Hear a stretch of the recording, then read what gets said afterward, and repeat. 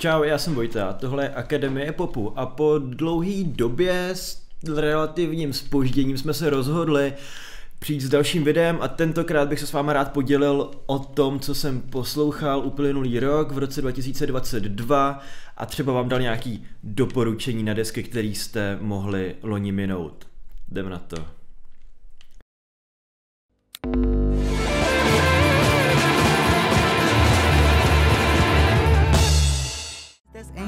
Done every magazine was fame to me. It's a game to me man. with the bedroom mat. Sleep, I ain't never had a fast with that. What's fair when the hearts and the words don't Letošní deska Kendricka Lamara bylo moje nejhranější album loňského roku.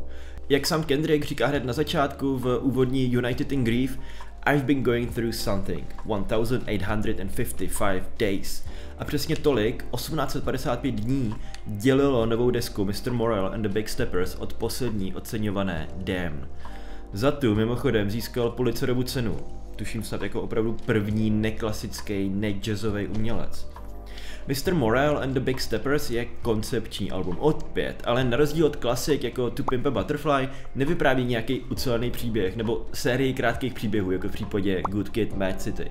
Koncept je v té zpovědi, kterou Lamar dává. Ta deska je doslova jeho vlastní terapie, proces očištění se, vyrovnání s minulostí a připravení na budoucnost.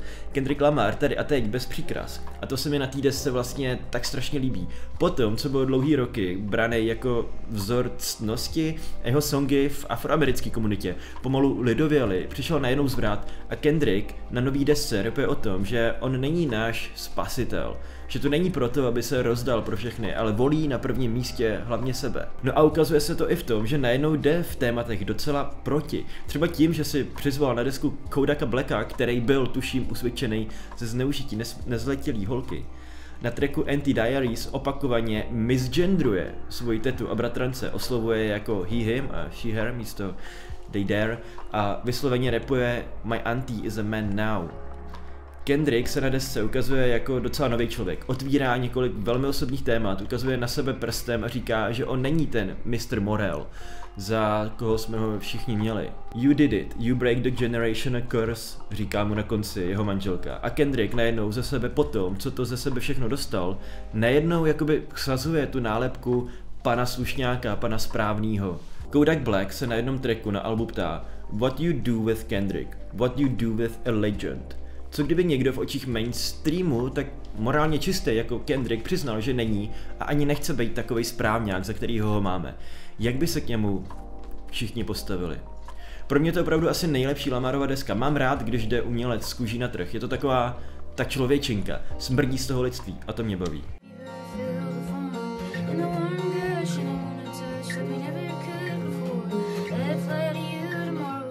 Kdybych se měl pro rok 2022 vybrat jenom jednu desku, kterou bych mohl poslouchat, byla by to tahle. Indie, folk, rocková, amerikána, country, deska Dragon New War Mountain I Believe in You od Big Thief.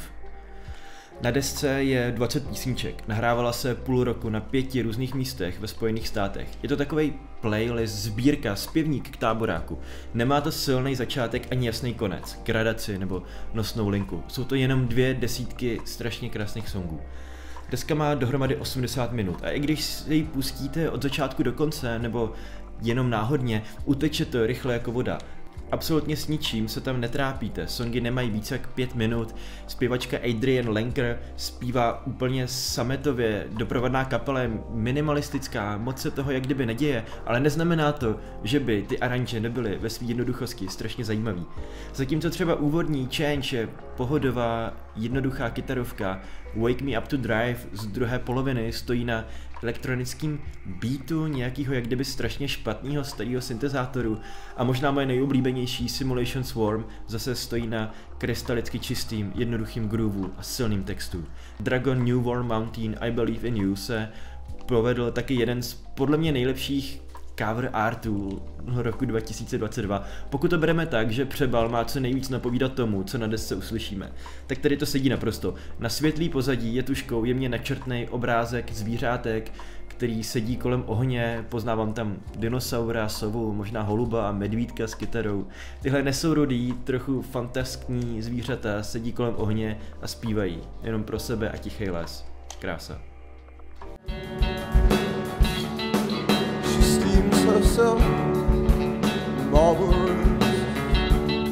Zařadit Black Country New Road do výběru nejlepších desek roku 2022 je trochu předvídatelný. Ale co se dá dělat? Jsem velký fanda už od první desky For the First Time z předchozího roku. A Ends From Up There byla první deska z loňského roku, kterou jsem doma točil na gramofonu. Nijak jsem nepotřeboval ji nejdřív poslouchat, číst recenze a rozhodovat se, jestli ji chci nebo ne. Black Country New Road byla obrovský hit ještě předtím, než vůbec nějakou desku vydali. To mě od nich nejprve upřímně trochu odrazovalo. Moc jsem tomu nevěřil. Singly, na kterých se ale pověst před rokem 2021, než vydali první desku, postavili, byl ale tak silný, že jsem jim odolával jen chvilku. Vzpomínám se, jak se tehdy psalo o tom, že může dost možná jít o první novou velkou rockovou hvězdu od dob debitu Arctic Monkeys, že frontman, zpěvák a textař Isaac Wood je novým upřímným spovědníkem generace Z a tak podobně. Nevím, nakolik se tyhle predikce skutečně naplnily, ale jedno je jasný, ten tlak, byť pozitivní, z vnějšku vedl k totálnímu rozkladu Izáka a ten nakonec těsně po vydání loňské desky musel kapelu opustit. Co bude dál s kapelou teď po odstupu jejího hlavního kreativního motoru, lze říct jen těžko. Nechci tvrdit, že kapela stála jenom na něj, pořád v ní zůstalo šest samostatných individualit, ale něco bude jinak. Kapela si řekla, že končit nebude, normálně pokračuje dál, možná má snad i rozdělaný nový songy, minimálně, ale z ohlasů na koncertech to prej není nic extra. Z besedy u Big Beatu, na který jsem ovšem nebyl, jsem jen slyšel, že to byla docela utahaná nuda. No, kdo ví, jak to bude dál. Je škoda, že kapela na začátku svého kreativního píku musí změnit směr a Izákovi samozřejmě přeju, ať se věci co nejdřív uklidní a dají do pořádku. A kdo ví, třeba jednou za nějakou dobu se ke kapele znovu přidá. A i kdyby ne, první a jediný dvě desky, které spolu Black Country New Road udělali, jsou fantastický a budou mi k naplněnému posluchačskému zážitku stačit. You're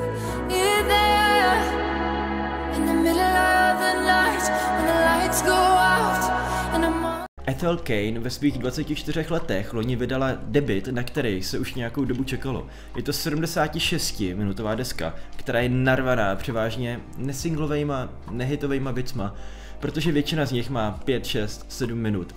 Jsou to spíš dlouhý celky.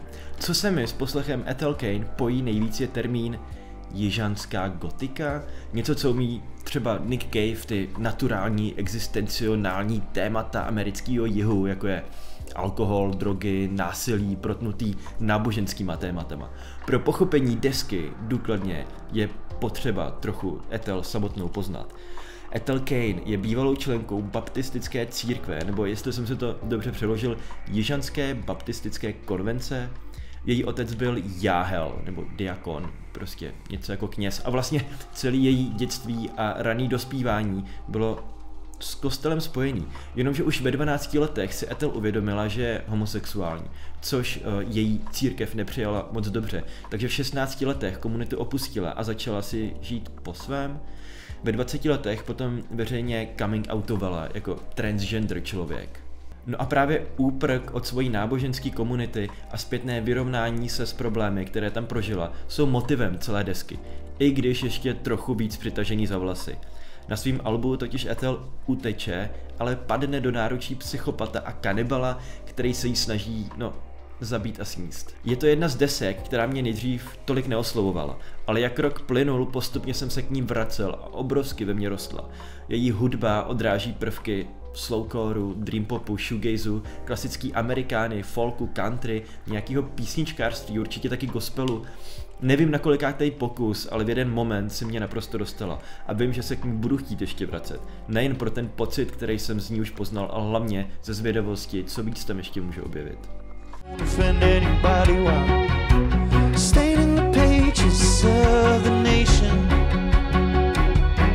Čas od času mi přijde, že se koná taková neoficiální bitva mezi velkýma anglickýma soft pop rockovejma kapelama. Že v jeden moment vydá desky víc velkých těchto anglických kapel a já si z nich prostě musím vybrat tu svoji nejlepší.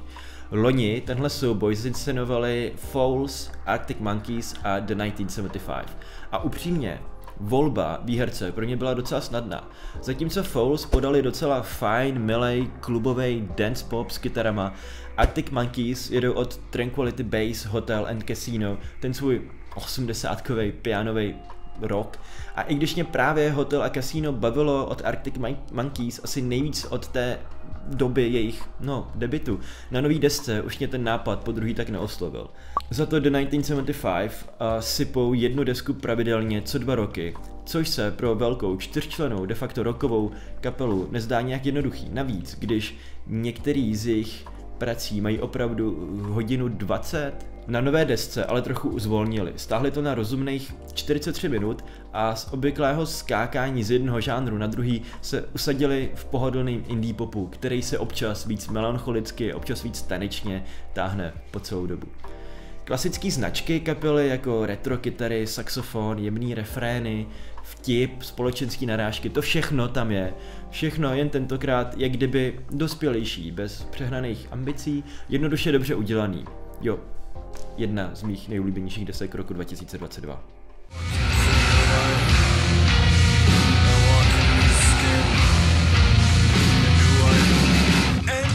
Jedna z kapel, která řekl bych letos minimálně v tom undergroundovém metalu úplně vystřelila, jsou určitě Chatpile. Jejich deska God's Country vyšla vlastně před pár měsíci, ale stejně mi přijde, že jsem o ně celý rok zakopával a zatraceně oprávněně.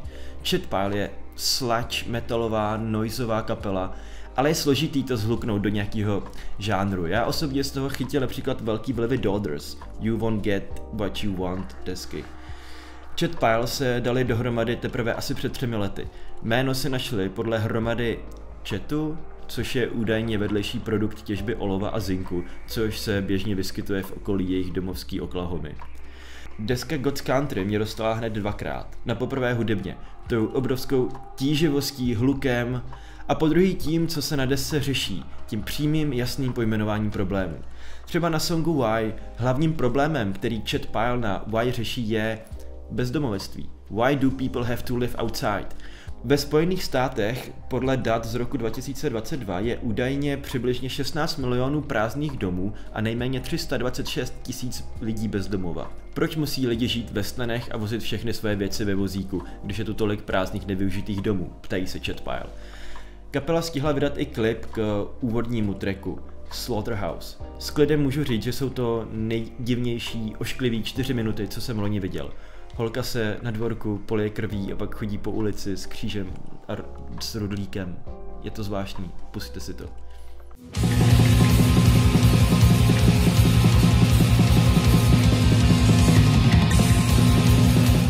Asijský postmetalový kapely mě poslední dobou hodně baví. Každoročně si nějakou najdu. Posledně to byly Paranul z Jižní Koreje, jejich To See The Next Part of Dream žijím do dneška. A loni to byly japonský Asuno Yokai a deska Island. Tyjo, možná moje nejpřehrávanější metalová deska vůbec za loňský rok. Asuno Yokai se dali dohromady už v roce 2014, ale do loňského roku jsem o nich neměl shinu. Narazil jsem na ně klasicky při pravidelném sjíždění webu Rate Your Music v práci a hned jsem si je taky pustil. Mixujou black metal s hardcorem, math rockem a shoegaze, všechno je to prostě takový hodně post, lítají od krásných jemných pasáží do strašný vřavy, zpívají japonsky a celý je to tak zvláštně krásný a divný. Zní to jako opening strašně dobrýho anime seriálu o vraždících robotech, který ale nakonec naleznou lásku a zblíží se s lidmi, nebo tak něco. Asuno Yokai vypadají jako, že se potkali na šachovém kroužku. A přesně takovýhle nerdi, když spolu založí metalovou kapelu, tak vím, že mě to bude zatraceně bavit. Pokud desku Island od Asuno Yokai neznáte, určitě doporučuji k poslechu. Při nejmenším single Chimera, ke které udělali i jednoduchý klip. V podstatě jen zapnuli kameru namířenou z okénka vlaku, který jede tokijským předměstím. Jednu věc bych možná přece desce vytkl, a to je délka. Na 52 minutách je hudba Asuno Yokai opravdu občas docela tíživá a ne vždycky, když si ji pustím, ji doposlouchám do konce. Což je ale škoda, protože zrovna závěrečný track Thunder je jeden z nejsilnějších momentů na desce.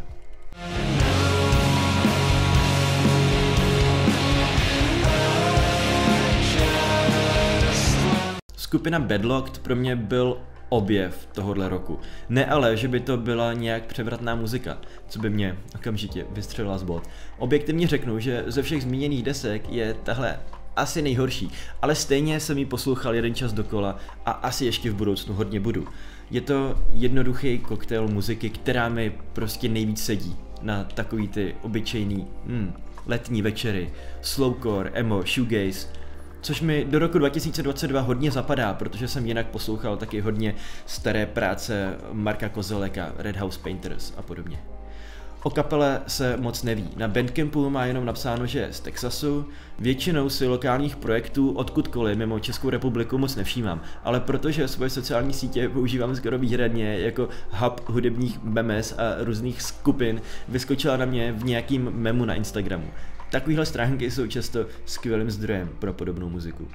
Tohle je jejich jediná deska. Vyšla jenom na kazetě a digitálně na Bandcampu, plus dalších streamovacích službách. A kazeta byla bohužel docela logicky hned vyprodaná. Nevím přesně, v jakým nákladu se dělala, ale více jak pár desítek to asi nebylo.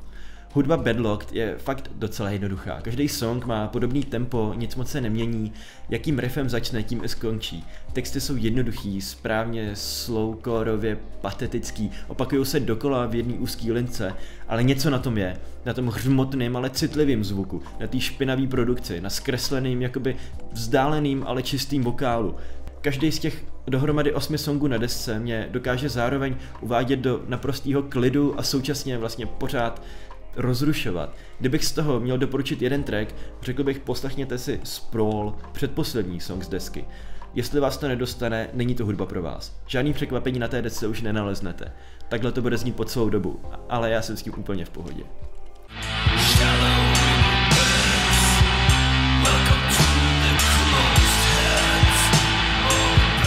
Dark Throne loni vydali novou desku. A když Dark Throne vydají, já poslouchám. Dark Throne je totiž jedna z mála black metalových kapel z té kultovní 90 norské vlny, která prostě umí stárnout. Kapela, která se už dávno přestala brát tak vážně, ale pořád sakra seriózně ví, co dělá. Pořád zůstává tomu těžkému, jasně vyhraněnému žánru věrná. Ale pozor, netvrdím, že třeba cestu, kterou se dal například Ulver, neocenuju. Jasně, je to přirozený vývoj. Oproti tomu Dark Throne ale podobné experimenty nehledaj. Pořád drhnou ty power akordy a dělají to úplně nenuceně. Jejich podání black metalu je jako nejvíc samozřejmá věc pod sluncem. Ono totiž, aby jsme si rozuměli. Nechci říct, že by Dark Throne s každou další deskou se nějakým způsobem nesnažili vyvíjet.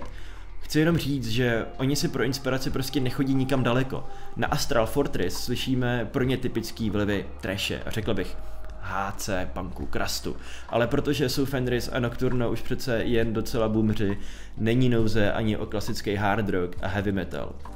Jak o desce píšou na Pitchforku, Astral Fortress navazuje na to, co kapela nazývá svou starou metalovou érou. Písně znějí prehistoricky, ale jsou přímočaré ve struktuře a jisté v provedení. Jo, a to je asi přesně to, co po Dark Throne chci. Aby zněli pořád trochu jako když biješ kijem do, jesk- do jeskyně, ale aby z toho byla cítit ta jistota a jasný přesvědčení, že vědí, co dělají. A to je u Dark Throne nespochybnitelný.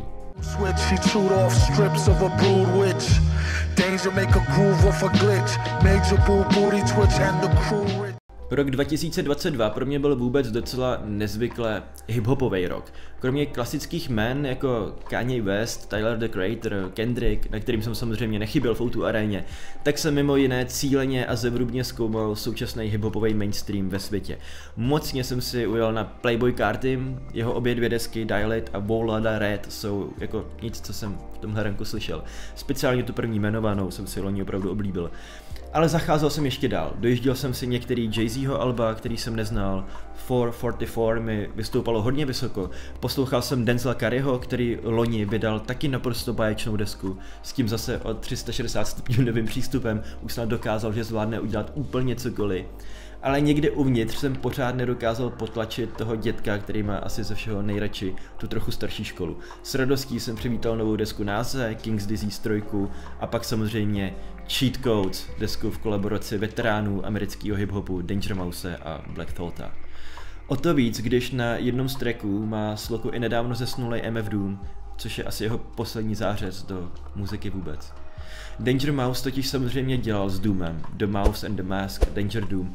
Jako producent pracoval na albech Gorillaz, na svědomí má dokonce slavný mashup Jay-Zho Black Alba a White Alba od Beatles, Grey album. A Black Thought je zase MC, legendární kapely The Roots. No a zatímco Black Thought vydal za poslední dobu tři solové projekty, Danger Mouse od té poslední spolupráce s MF Doomem celý hiphopový album nedělal. Ale podle mě se to spolu jim dohromady loni povedlo skvěle. Cheat Codes nabídlo některý z mých nejoblíbenějších repových tracků uplynulého roku. Ať už to bylo zmíněný Bellies s Doomem, Aquamarines s Michaelem Kivanukou, nebo asi moje úplně top pěkná na krásném beatu na pianu postavená The Darkest Part s Rackboonem na sloce. Kromě nich ale na desce nechybí ani současný jména, třeba A$AP Rocky nebo kapela Run the Jewels. Znova, i když byl tenhle rok na hip-hop silný, kromě Kendrick Lamara určitě jmenovaný Denzel Curry, taky nás, Jid, Future, Lil Baby, Yeet, Weekend, Billy Woods, u mě to vyhráli Cheat Codes.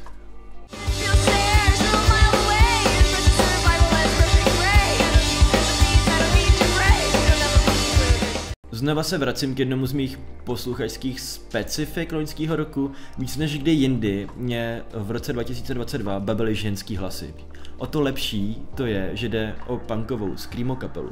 Foxtails dosud fungovaly jen ve třech. Až před vydáním nahráváním loňského alba k sobě vzali ještě čtvrtýho člena, houslistu. Jo, to není zas tak neobvyklý, jasně. Housle nebo smyčcový nástroje obecně se v screamo, emo hudbě objevují často, ať už pš, kursív nebo já nevím, to The World is a Beautiful Place. Foxtails na svý nový desce z Loňska, Fawn, eh, společně s novým hostlistou posadili na prdel všechno, co dává v screamo muzice řád a smysl. Jasně, oni vždycky měli docela dost neobvyklý struktury songu, trochu zvláštní rytmy, ale s těma houslema teď vymýšlejí tak zajímavý harmonie, tak neskutečný riffy. Je to možná trochu náročný poslech. Už tou chaotičností, těma těžko vstřebatelnýma kakofonníma zvukama, disharmoniema, těma rychlejma přechodama ze screama do šepotu a mluvenýho slova, změnama rytmů, drhnutím strun, hluku ve vysokých polohách. Jenže to je na tom asi to nejzajímavější. Pod vším tím se schovávají songy, které dávají zatraceně smysl. Letos se mluvilo o více punkových screamo deskách. U mě to ale nakonec vyhráli opravdu Foxtails. Hlavně asi pro tu odvahu jít na to takhle zostra. Taky to byl výčet mých nejoblíbenějších desek loňského roku. Jaká je vaše nejoblíbenější deska roku 2022? Potkali jsme se v některý z těchto deseti. A jestli vám některá z těch, o kterých jsem mluvil, utekla, máte chuť si ji pustit, napište mi o ní do komentářů. Já se budu těšit u dalšího videa. Čus!